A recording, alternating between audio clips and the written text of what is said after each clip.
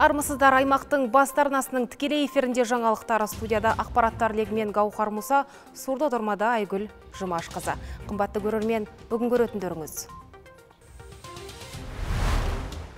Кадрлік тағайындаулар бүгін Алматы облысы әкімінің өкімімен ішкі саясат басқармасы мен достық үйіне жаңа басшылар тағайындалды.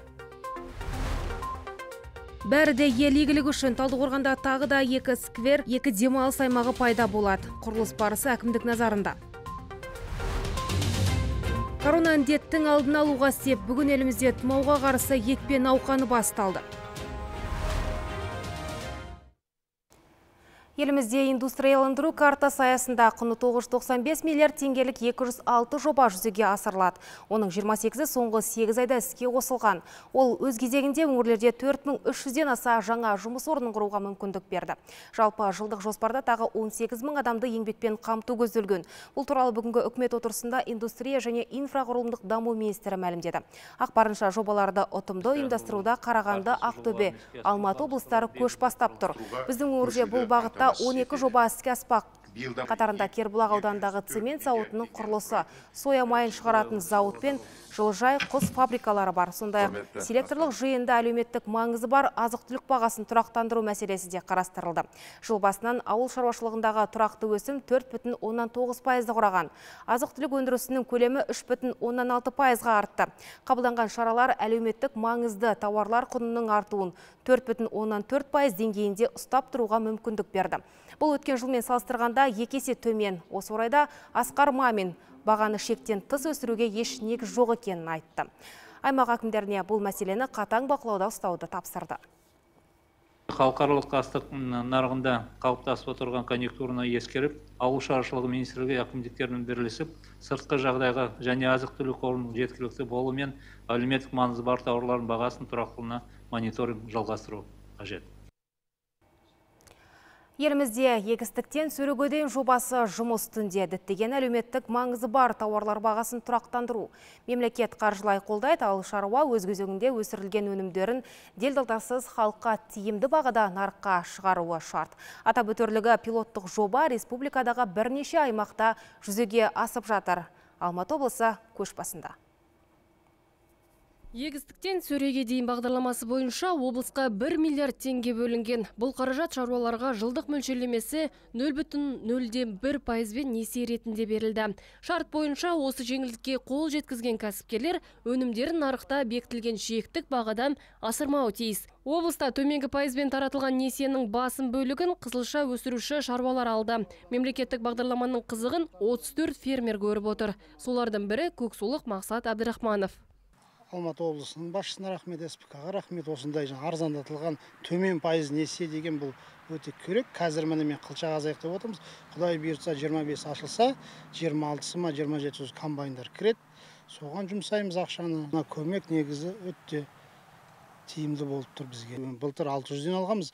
Биыл міне 700-ге өйткені мына спк жақсы тұқымдар алып келді де жаңағы урожайын істейді ғой. Өнімдер көп. Жетісу аймағы қан қызылшасын өсіруге қолайлы мекен. Жергілікті фермерлер мемлекеттен алған несиені жинау науқаны дайындығына бағыттап жатыр. Бірі аграрлық салада 20 жыл тер төккен Александр Квитко. Оның 180 гектар жері бар. Ақсулық шаруа биыл 57 гектар алқапқа тәтті төбір сепкен. Үлкен қолдау көрсеткен үкіметке дән риза. От СПК взяли мы в основном на уборку сахарной свеклы. Тамызда жетісу әлеуметтік кәсіпкерлік корпорациясы арқылы 14 миллион теңге алдым. Бірінші қарашада қайтаруым керек. Ешқандай кепілсіз алдық. Біз сияқты шаруаларға берілген үлкен жеңілдік деп ойлаймын. Алған қаражатты жұмысшылар жалақысын төлеуге және техника жалдауға жұмсаймын. Уақытында қайтарамын деп сенемін. Биыл жеңілдетілген несие алған шаруалар қант зауытына 50 мың тонна тәтті түбір өткізуге міндеттеген. Қант түсімі шамамен 2,5 мың тонна болуы керек. Құмшекер өңірдегі сауда орындарына делдалсыз жеткізілуі шарт. Сондықтан облыста қант бағасы шарықтамайды. Жалпы облыста әлеуметтік маңызы бар азық-түлік бағасын тұрақтандыру үшін бюджеттен 2 миллиард теңге қаржы бөлінген. Бір бүтін оннан үш миллиард теңге. Бұл мына осы әлеуметтік маңызы бар азық түлік тауарларын өсіретін өндіретін кәсіпкерлерге берілді. Жеті жүз тұрақтандыру қорын қалыптастыруға қоймалардың барлығы осы талдықорған қаласында бар. Ол жерге осы әлеуметтік маңызы бар азық түлік тауарлар сатылып алынды. Оның ішінде ұн бар қант макарон сосын жаңағы картоп пияз күріш сияқты маңызды азық түліктер тұрақтандыру қорының қоймасы арқылы және өңірлерде әлеуметтік дүкендер арқылы таратылады. Жалпы егістіктен сөреге дейін бағдарламасы еліміздегі жамбыл түркістан және алматы облыстарында іске асуда. Бұл бағыттағы жұмыстарда жетісу өңірі көш бастап тұр. Жоспарға сәйкес барлығы сәтімен жүргізіліп жатыр. Азық түлік бағасының тұрақтылығы үнемі бақылауда. Еске салсақ облыста негізсіз баға көтергендерді анықтау мақсатында арнайы мониторингтік топ құрылған. Мадина берқызы нұржан мұқанов жетісу телеарнасы.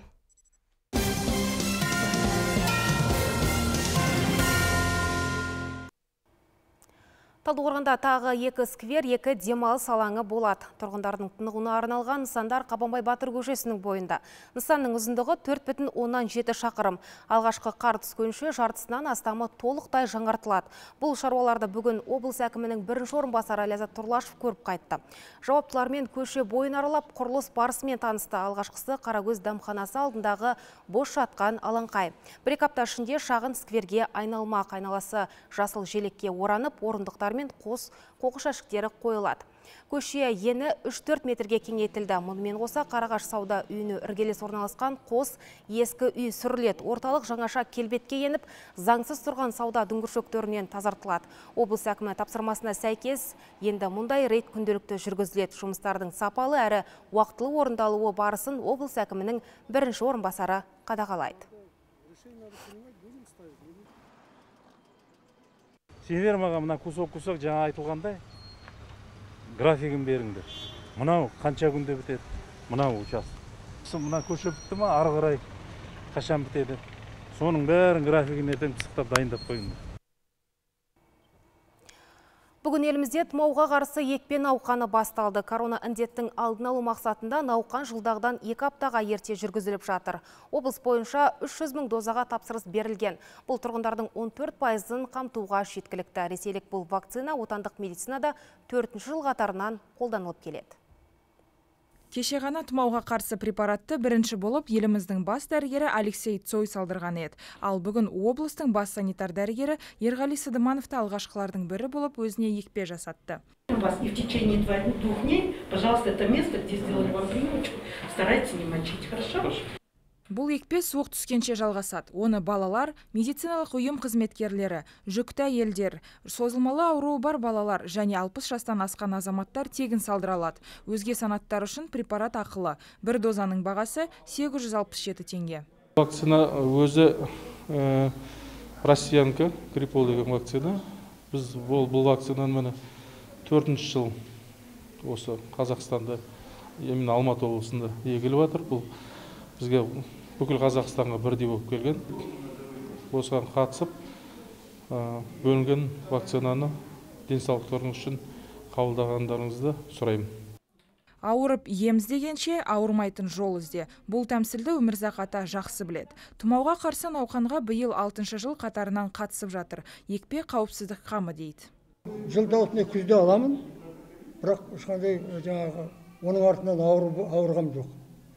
Көп көмектеседі екен салғызу керек салғызбаса мына салғызатын не жақсы екен мынау айтып отырмын ғой бес алты жыл болды мен салғызғаныма мен ауырғам жоқ енді жасым бір сексен үшке келді әлі ауырғам жоқ әйелім де салдырады балалар да салдырады түгел бәрі айта кетсек қазіргі таңда облыста 300 мың дозаға тапсырыс берілген. Бұл бағытқа жергілікті бюджеттен 191 миллион теңге қаржы бөлініпті.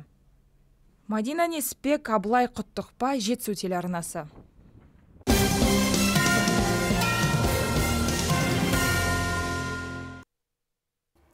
Кадрлік тағайындаулар бүгін Алматы облысы әкімінің өкімімен Ғалиасқар Сарыбаев Алматы облыстық ішкі саясат басқармасының басшысы болып тағайындалды. Ғалиасқар Төлендіұлы 1963 жылы туған. Техникалық және құқықтық қос жоғары білімі бар. Диплом алысымен Кербұлақ аудандық комсомол комитетінің бөлім меңгерушісі, гвардия және Кербұлақ аудандық комсомол комитетінің бірінші хатшысы қызметтерін атқарған. Кейін аудандық жастар ісі, туризм және спорт басқармасының басшысы. Алматы облысының қоғамдық келісім және ақпарат басқармасының бөлім бастығы, ішкі саясат басқармасы бастығының орынбасары, Талдықорған қаласы әкімінің орынбасарлары лауазымдарында болды. Облыстық ішкі саясат басқармасын басқарды Нұр Отан партиясы Алматы облыстық филиалы төрағасының бірінші орынбасары, әкім кеңесшісі лауазымдарын атқарды. 2020 жылдың қаңтарынан Алматы облысы әкімі аппаратының әдеп жөніндегі уәкілі. бүгінгі күні ішкі саясат саласы үлкен саланың бірі болып саналады себебі кез келген мемлекеттің ішкі саяси тұрақтылығы азаматтардың ауызбірлігі ең басты мәселе деп ойлаймын. Сол себептен біздің өңір басшымызға көп көп рахмет. Бүгінгі күні біз ақпарат саласында ішкі саясат саласында осы ашықтықты қамтамасыз етуіміз керек. Халықтың мемлекеттің жұмысына араласуына көп қолдау жасауымыз керек. Осы бағыттағы жұмыстарды жасаймыз деп ойлаймын. Бүгін сонымен қатар облысы әкімі Амандық Баталовтың өкімімен Сандуғаш Елубайқызы Дүйсенова достық үйі мемлекеттік коммуналдық кәсіпорынның директоры қызметіне тағайындалды. Сандуғаш Дүйсенова Әл-Фараби атындағы Қазақ ұлттық университетінің түлегі, журналист, көп жылдар бойы ақпарат саласында қызмет еткен.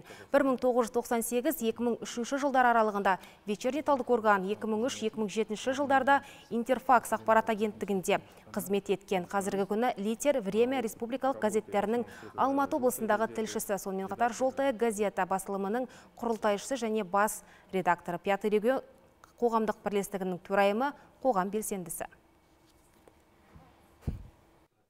Маған артқан Амандық Абашевтың үмітін ақтауға тырысам, өйткені жай жерге келген жоқпын. Бұл ұлтаралық қарым қатынасты нығайтатын, өзара келісім шарт жасайтын және де достыққа шақыратын орын болып тұршы бар күшімді білгенімді жаңағы тәжірибемді осы осы үйге осы үйге жүрген адамдарға қызмет етуге арнайын деп тұрмын. Алматы облысы әкімінің орынбасары Рустам Али бүгін сондай қаладағы бірнеше мекемелерді аралап шықты. Қатарында достық үйі, тілдерді дамыту, дін істері басқармалары бар. Ондағы қызметкерлермен кездесіп, тыныс тірліктерімен танысты. Ұлтаралық татулық конфессия аралық келісімді нығайту Қазақстан халқы ассамблеясының ел береке бірлігіне қосып жатқан үлесі сынды тақырыптарда әңгіме өрбітті. Сонымен қатар тілдерді дамыту басқармасындағы тілдік курстар бағыт бағдарламасымен танысты. Оқытушылар біліктілігін сұрап білді. Материалдық техникалық базасын көрді. Сала мамандарын тыңдап, бір қатар тапсырмалар жүктеді. Бұл қатарда латын қарпінде оқып жаза білетін ақын жазушыларды анықтау және пулын құру бар. Сондай-ақ меншік құқығына қарамастан билборд пен баннерлердегі жарнаманы бір стандартқа келтіруді талап етті. Артынша Рустам Али дін істері басқармасына соқты. Ұжым қолға алған тың бастамалармен танысты. Дінтанушы теолог мамандармен сұхбаттасып, ортақ мүдделер төңірегінде кеңесті облыс әкімінің тапсырмасымен бүгін бірнеше мекемелерді аралап шықтым. Жаңа дін басқармасының мәселелері қазіргі таңда онлайн форматында өкінішке орай жұмыстар аздау бірақ бұл мәселені жетілдіру мақсатында және біздің жаңағы әлеуметтік желіде интернетте біздің имамдардың дін мәселелері мамандарының тақырыптарын насихатталу насихатталуын ұлғайту мақсатында олардың жаңағы әлеуметтік желілерде қолдану және әлеуметтік бағдарламаларды қолдану тақырыбын көтерудеміз.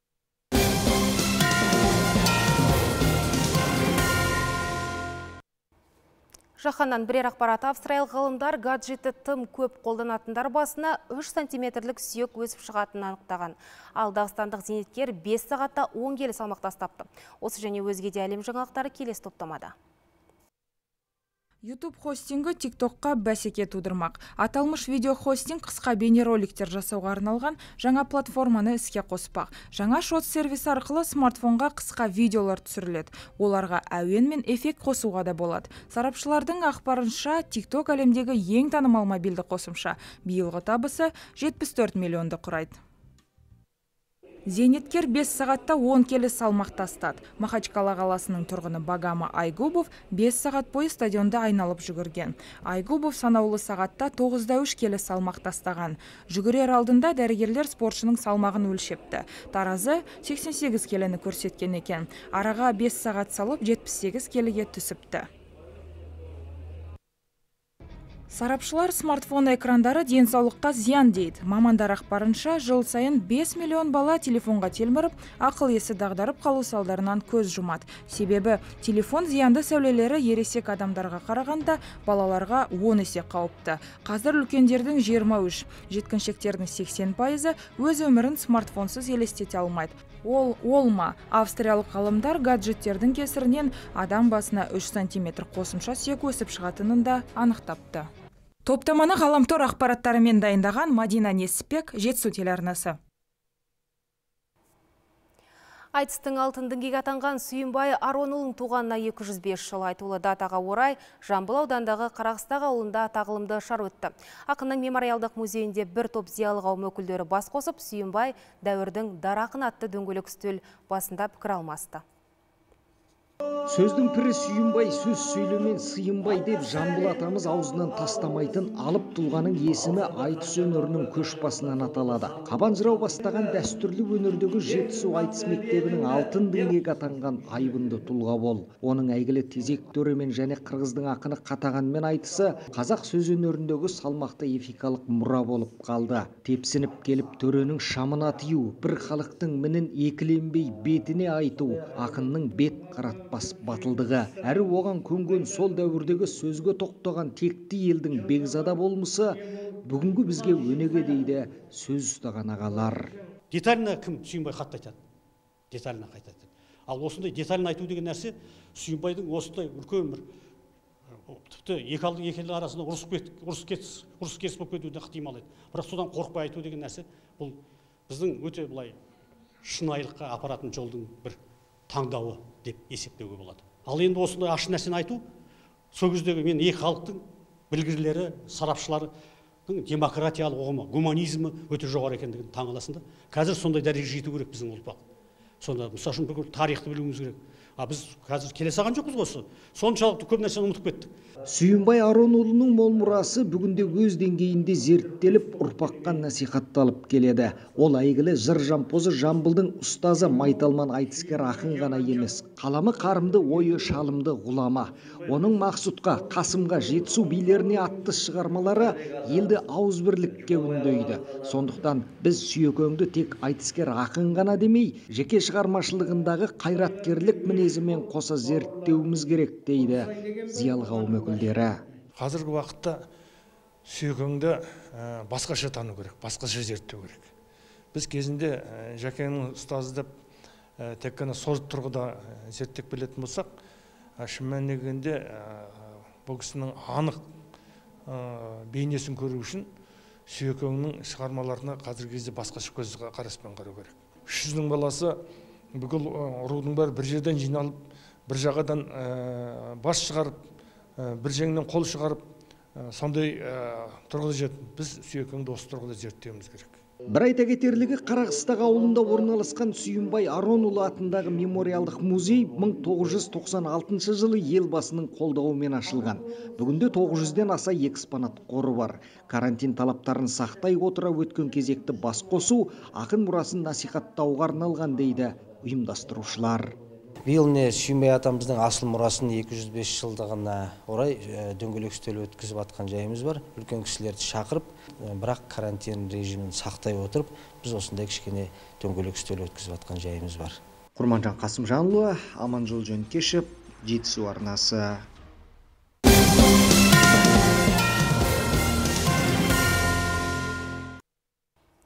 Талдықорғандық жас боксшылар облыс біріншілігіне дайындалып жатыр. Жерлестеріміз қыркүйек айынан бастап спорт залда арнайы жаттығуға кіріскен. Олар өңірлік сайыста командалық есепте жүлдегер атануды көздейді. Оған боксшылардың толық мүмкіндігі бар дейді жаттықтырушылар. Өйткені шәкірттері төрт айға созылған карантин уақытында оқшауланса да үйде бос жатпаған. Үнемі шеберлігін шыңдап, бабын жоғалтпаған көрінеді. Айта кетейік, облыс чемпионаты қазан айында жоспарланып отыр. Онда үздік шығып жатса, жергілікті былғары қолғап шеберлері Қазақстанның аймақтық біріншілігіне өнер көрсететін болады. Бапкерлер 5 спортшыға ерекше үміт артып отыр. Олар бұған дейін де республикалық додада топ жарып, өз салмақ дәрежелерінде мықты екендігін дәлелдеп келген. жеңіл салмақта жапар ерболат орта салмақта нұрман әлихан содан кейін ауыр салмақта кәкімсейітов жасұлан деген оқушымыз жастар арасында тұрсынғали дулат жаңағы үміт күттіретін балалардан. Қырғызбай еркебұлан деген балалар. Осы бесеуі чемпион болуға үміт күтеміз. Физикалық тұрғыда балалар өте жақсы дайындықта. Енді қазір біз техникалық жағынан дайындалып жатырмыз. Еркін күрестен Талдықорған қалалық жасөспірімдер құрама командасы облыс чемпионатында жүлдегер атануды көздейді. Қазір балғын балуандар жастар спорт сарайында қызу дайындық үстінде. Қараша айында еркін күрестен жасөспірімдер арасында Алматы облысының чемпионаты өтеді деп жоспарланған. Осыған орай Талдықорғандық балуандар кілемде күш қарымын сынап тәжірибесін жетілдіріп жатыр. Бапкерлер шәкірттерінің техникалық шеберлігін шыңдауына үлкен мән береді. Әдіс тәсілдердің дұрыс орындалуын қадағалайды. Бізде үш ковер бар. Каждый коверға 10 баладан рұқсат берді. Біз 30 балаға дейін кіргізе аламыз.